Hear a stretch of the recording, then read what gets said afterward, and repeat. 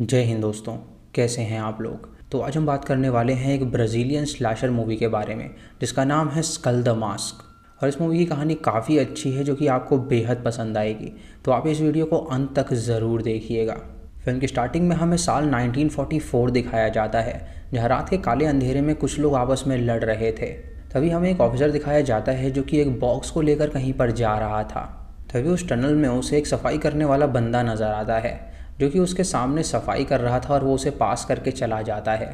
तभी एक बंदा टनल के अंदर आ जाता है जिसने काला मास्क पहना हुआ था और वो एक एक करके वहाँ पे मौजूद सारे गार्ड्स को मारने लगता है। वो सभी को वहाँ पर मार देता है और उसके बाद उस बॉक्स को उनसे छीन कर ले जाने लगता है। जब सफ़ाई कर्मचारी देखता है कि वहाँ पर चोरी हो रही है तो वो उस बंदे से लड़ने लगता है ताकि वो बॉक्स ना ले जा सके। वो कातिल उससे लड़के उसका एक हाथ काट देता है और तुरंत वहाँ से भाग निकलता है। उसके बाद वो मास्क मैन उस बॉक्स को अपने बॉस के पास ले जाता है, जहाँ पे वो उसे वो सौंप देता है और उसे देखकर उसका बॉस काफ़ी खुश होता है। हमें पता चलता है कि वहाँ पर कोई ना कोई रिचुअल किया जा रहा है और ये रिचुअल किसी डीमन या अनजान शक्ति को जगाने के लिए किया जा रहा था और इसकी रिकॉर्डिंग भी वो लोग कर रहे थे ताकि ये यादगार रह सके। तभी उसका बॉस एक सर्कल के अंदर जाता है और वहाँ पर वो मंत्र पढ़ना स्टार्ट कर देता है ताकि वो उस चीज़ को बुला सके। तभी अचानक वहाँ पर कुछ चीज़ होने लगती है और वहाँ पे आग लग जाती है जिससे कि वो शक्ति जग जाती है। रिचुअल के लिए उन्होंने यहाँ पर एक आदमी को भी पकड़ा हुआ था उसका सेक्रीफाइस करने के लिए और उस बंदे का गला काट कर उसकी बलि चढ़ा देते हैं। जब रिचुअल हो रहा होता है तो बॉक्स के अंदर जो चीज़ होती है वो हिलने लगती है और हम देख पाते हैं कि दरअसल वो एक स्कल है और जिस इंसान की उन्होंने बड़ी चढ़ाई होती है उसकी खून को वो स्कल के ऊपर डाल देते हैं।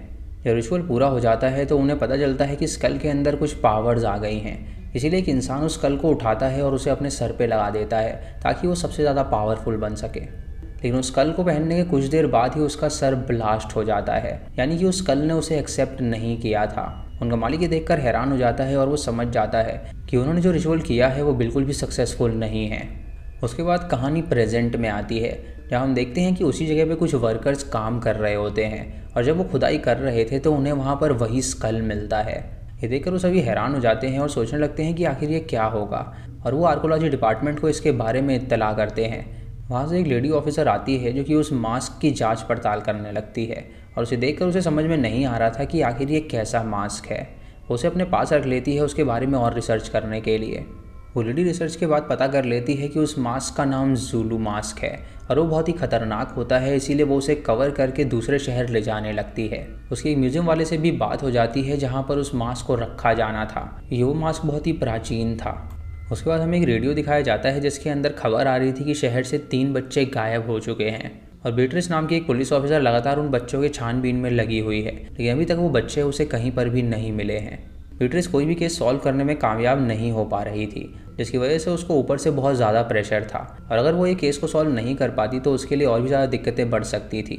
और तो और उसे एक केस की वजह से जेल भी हो गई थी। लेकिन वो जेल से रिलीज़ कर दी गई थी, क्योंकि उसका बिहेवियर काफ़ी अच्छा था। उसके बाद हमें रेमिरेज नाम का एक वर्कर दिखाया जाता है, जो कि एक मार्केट में काम किया करता था। दोस्तों, रेमिरेज उसी बंदे का बेटा था जिसका स्टार्टिंग में हाथ कटा हुआ हमने देखा था। रेमिरेज ने आज भी अपने पिता का वो कटा हुआ हाथ सुरक्षित रखा हुआ था, ताकि उसके काटने वाले से वो बदला ले सके। तभी रेमिरेज के पास एक चर्च का फादर आता है उससे मिलने के लिए।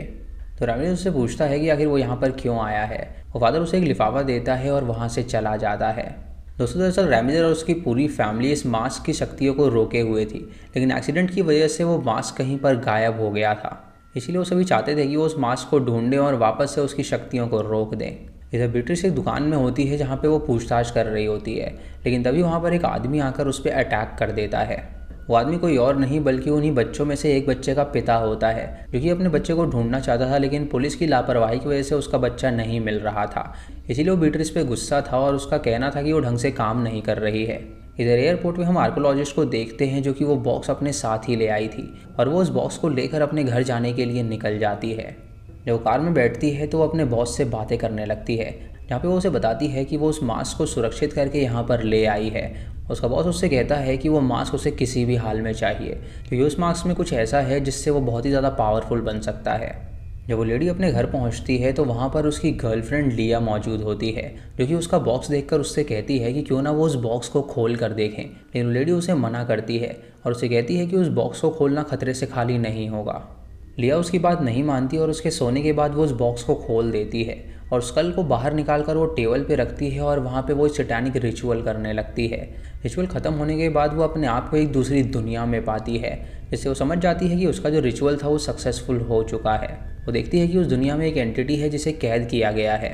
वो तुरंत वहाँ से बाहर निकलती है और जब वो अपनी असली दुनिया में आती है तो वो देखती है कि उसके टेबल से वो मास्क गायब हो चुका है। तभी वो अपने सामने एक लेडी को देखती है और उसे पता चलता है कि उस मास्क ने एक ह्यूमन फॉर्म ले लिया है। और जो ह्यूमन फॉर्म था वो बहुत ही ज़्यादा ब्रूटल था, जो कि लोगों को मार सकता था। तभी वो खूनी उसके पास आता है, जो कि लिया का दिल निकाल कर उसे जान से मार डालता है। रिया की आवाज़ सुनते ही उसकी गर्लफ्रेंड उठती है और वो बहुत ज़्यादा घबरा जाती है। वो अपनी गर्लफ्रेंड को देखने के लिए जाती है और उसे वहाँ पर उसकी लाश मिलती है, जिसे देखकर वो हैरान हो जाती है और सोचती है कि आखिर उसने ऐसा क्यों किया। वो कादिर उसके भी सामने आ जाता है और उसके सीने से दिल निकाल कर उसे भी जान से मार डालता है, जिससे कि अब वो दोनों कपल मर चुके थे। सुबह पुलिस को जब उनकी मौत की खबर मिलती है तो वो सभी वहाँ पर आते हैं और बीट्रिस उस क्राइम सीन पे पहुँच कर वहाँ पर छानबीन करने लगती है। तभी बीट्रिस नोटिस करती है कि दोनों बॉडी के शरीर से खून पूरी तरह गायब है और उन दोनों के दिल भी निकाल लिए गए हैं। तभी वहाँ पर आर्कोलॉजिस्ट का बॉस आ जाता है, जिसका नाम टेक वॉल्डर होता है। और वो वहाँ पर उसकी लाश देखकर काफ़ी ज़्यादा हैरान हो जाता है। ब्रिटिश उससे कहती है कि आखिर वो यहाँ पर क्यों आया है? तो वो उसे बताता है कि दरअसल यहाँ पर वो एक मास्क को लेने आया था। लेकिन वो मास्क अब जीवित हो चुका है, जिसने इन लोगों को मार दिया है। और किसी भी हाल में उसे वो मास्क चाहिए तो वो अच्छे से छानबीन करे। वो उसे ये भी कहता है कि उसके म्यूज़ियम में उसे वो मास्क रखना है, क्योंकि वो बहुत ज़्यादा पावरफुल है। और वो एक बहुत बड़ा बिजनेसमैन है जो कि उस मास्क को किसी भी कीमत में ख़रीदने के लिए तैयार था। उसके बाद वो बेटर्स को अपना कार्ड देता है और उससे कहता है कि जहाँ कहीं भी उसे वो मास्क नज़र आए, वो उसे कॉल करे, ताकि उसका आदमी वहाँ पर आकर उसे पिक कर सके। तभी वहाँ पर फॉरेंसिक से दो लोग आते हैं वहाँ पे साफ़ सफ़ाई करने के लिए। लेकिन तभी अचानक वहाँ पर वो मास्क कातिल आ जाता है, जो कि उन दोनों में से एक बंदे को जान से मार डालता है और दूसरे के चेहरे पे वो मास्क लग जाता है और उसे अपने वश में कर लेता है। उसके बाद वो मास्क कातिल क्लब में पहुँचता है, जहाँ पर वो एक एक करके बहुत सारे लोगों को मारने लगता है और उनके शरीर से खून निकाल के वो खून को इकट्ठा भी कर रहा था। तो उसे जो सीन था, ये बहुत ज़्यादा खतरनाक था। अगले दिन सबको ये खबर मिलती है कि नाइट क्लब में एक मैसेकर हुआ है, जहाँ पे कई सारे लोग मारे गए हैं और इस खबर से पूरा शहर बहुत ज़्यादा डर गया था। जब ये बात रेमरेज और चर्च के फादर को पता चलती है तो वो समझ जाते हैं कि ये किसका काम है। रेमिस फादर से कहता है कि उन्हें उस मांस खूनी को रोकना ही होगा, वरना वो बहुत सारे लोगों को मार डालेगा और ये पूरा शहर शमशान बन जाएगा। लेकिन फादर उससे कहता है कि उसे इन सब बातों पे यकीन बिल्कुल नहीं हो रहा कि आखिर एक मास्क इतने सारे लोगों को कैसे मार सकता है। दोस्तों, दरअसल ये जो मास्क है, इसके बारे में प्री कोलम्बियन माइथोलॉजी में ज़िक्र किया गया है, जो कि बहुत ज़्यादा इविल होता है और ऐसा माना जाता है कि पहले ये एक बुचर हुआ करता था, जो कि काफ़ी सटैनिक बंदा था और वो डेविल की पूजा किया करता था। इसीलिए अब जब वो इस दुनिया में आ गया है तो वो एक एक करके सभी लोगों को मार रहा है और उनका दिल और खून इकट्ठा कर रहा है, ताकि वो डेविल को समन कर सके और इस दुनिया में ला सके। वो मास्क पूरे शहर में घूम घूम के एक एक करके सबको जान से मारने लगता है और जब वो चर्च में पहुँचता है तो उसे वहाँ पर फादर नज़र आता है। फादर उसे देखकर हैरान हो जाता है और वो समझ जाता है कि वो बंदा जो बात कह रहा था, वो सच है। वो तुरंत अपनी तलवार निकालता है और उस बुचर से लड़ने लगता है और जब वो दोनों लड़ रहे होते हैं तो वो फादर को ज़ख्मी करके छोड़ देता है। और पता नहीं क्यों वो उसे जान से नहीं मारता। इधर बीट्रिस जब क्लब के क्राइम सीन पे होती है तो वहाँ पर छानबीन कर रही होती है। लेकिन जब वो वहाँ पर रेमरेज को देखती है तो उसे लगता है कि शायद वो कोई बात जानता होगा। इसीलिए वो उसका पीछा करने लगती है उससे सच उगलवाने के लिए।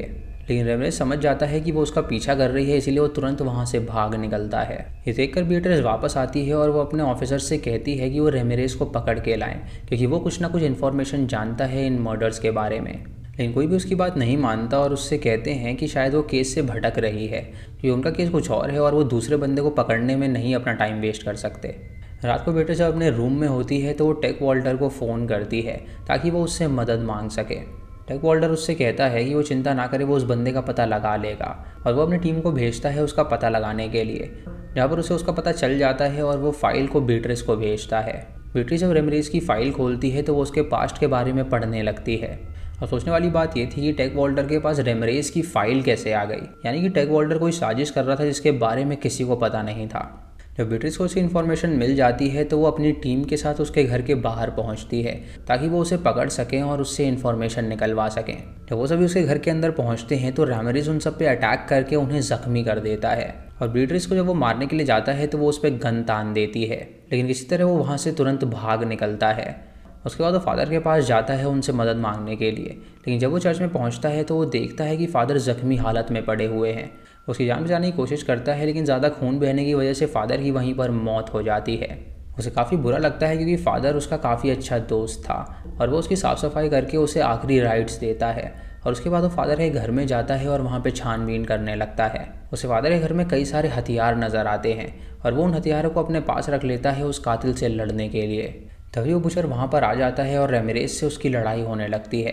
रेमरेज जब उस पर वो फायर गन चलाता है तो उसका फ्यूल ही ख़त्म हो जाता है, जिसकी वजह से वो फायर गन चल ही नहीं रही थी। ये देखकर वो काफ़ी डर जाता है और उसे पता चलता है कि वो कातिल उसे मार डालेगा, इसलिए वो तुरंत भाग कर एक जगह पर पहुँचता है और वहाँ पे वो रिचुअल की तैयारी करने लगता है ताकि वो उस मास्क खूनी को हमेशा के लिए यहाँ से भगा सके। दोस्तों, दरअसल ये जो कातिल था, ये कभी भी मारा नहीं जा सकता था, क्योंकि ये अमर था और इसे सिर्फ़ कैद ही किया जा सकता था। बाहर हम बीटरेस को देखते हैं जो कि रेमरेज पे नज़र बनाए हुए थी और वो देखना चाह रही थी कि आखिर रेमरेज करना क्या चाहता है। तभी वहाँ पर वो बुचर भी आ जाता है और रेमरेज और उसकी वहाँ पे लड़ाई स्टार्ट हो जाती है। तभी रेमरेज मंत्र पढ़ने लगता है और वो दूसरी दुनिया का दरवाज़ा खोल देता है ताकि वो उस मास्क को दोबारा से उसके अंदर कैद कर सके। वो देखता है कि उस दूसरी दुनिया में वो डेविल भी कैद है और उसका प्लान था कि वो डेविल के साथ उस मास्क को भी कैद कर दे ताकि वो दोनों हमेशा वहीं रहें और कभी वापस ना आ सकें। रेमरेज जब उससे लड़ रहा होता है तो बड़ी चलाकी से वो उसे उस गड्ढे में फेंक देता है, जिससे कि वो बुजर उस रेल में चला जाता है। लेकिन रेमरेज अपने आप को उसमें गिरने से बचा लेता है। उसके अंदर जाते ही वो पोर्टल भी तुरंत बंद हो जाता है और इसके साथ वो मास्क भी अब उसके अंदर कैद हो चुका था। तभी वीडियस अंदर आ जाती है और वो तुरंत उस मास्क को लेकर वहाँ से भाग निकलती है और सीधा टेक वॉल्डर के पास जाकर उस मास्क को सौंप देती है। कुछ दिनों बाद हम देख पाते हैं कि बेट्रेस की इमेज काफ़ी अच्छी हो गई थी क्योंकि उसने केस सॉल्व कर दिया था और उसने कई सारे लोगों की जान भी बचाई थी। टेक वॉल्डर बेट्रेस का शुक्रिया अदा भी करता है और वो काफ़ी ज़्यादा फ़ेमस भी हो गई थी।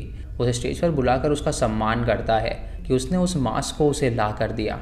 तो उस मास्क की ओपनिंग हो रही होती है तो म्यूज़ियम में कई सारे लोग मौजूद होते हैं। लेकिन जब बेट्रेस उस मास्क पे नज़र डालती है तो वो देखती है कि म्यूज़ियम में जो मास्क पड़ा हुआ है वो असली मास्क है ही नहीं। बल्कि म्यूज़ियम में एक नकली मास्क रखा हुआ है ताकि वो लोगों को बेवकूफ़ बना सके। ये देखकर वो हैरान हो जाती है और सोचने लगती है कि आखिर टेक वॉल्डर ऐसा क्यों कर रहा होगा? लेकिन तभी हमें पता चलता है कि बेट्रिस तीन बच्चे के खोने पे केस पे जो काम कर रही थी, वो तीन बच्चे वॉल्टर के कैद में ही थे। यानी कि वो मास्क को दोबारा से ज़िंदा करने वाला था इन तीन बच्चों की बलि चढ़ाकर, ताकि वो उस मास्क को वापस जगा सके और एक पावरफुल इंसान बन सके। ब्यूटी सोचने लगती है और वो समझ जाती है कि टेक वॉल्डर बिल्कुल भी अच्छा इंसान नहीं है। इसीलिए वो उस पर गन तान देती है और उससे पूछती है कि आखिर वो ऐसा क्यों कर रहा है? उसे बताता है कि वो उन बच्चों की बलि चढ़ाने वाला है, ताकि वो डीमन को यहाँ पे बुला सके और उससे वो अपने काम करवा सके, क्योंकि वो इस दुनिया में तबाही फैलाना चाहता है। ये सुनकर ब्रिटिश टेक वॉल्डर को शूट कर देती है, जिससे उसकी मौत हो जाती है, और अब उसके दोनों केसेस सॉल्व हो चुके थे, वो मास्क वाला और वो तीन बच्चे वाला। इसी के साथ ये मूवी यहीं पर ख़त्म हो जाती है। दोस्तों यानी कि जो बीटरीज थी उसके अंदर बहुत ज़्यादा पोटेंशियल था, तभी वो अपने दिमाग की वजह से ये केस सॉल्व कर पाई थी। तो दोस्तों, ये थी आज की वीडियो आपको ये फ़िल्म की कहानी कैसी लगी, आप हमें कमेंट सेक्शन में ज़रूर बताइएगा। और चैनल पे नए हैं तो सब्सक्राइब करें और बेल आइकॉन दबाएँ नोटिफिकेशंस के लिए। दोस्तों वीडियो को लाइक और शेयर करना बिल्कुल मत भूलिएगा। तो मैं मिलता हूँ आपको अगली वीडियो में। तब तक के लिए जय हिंद।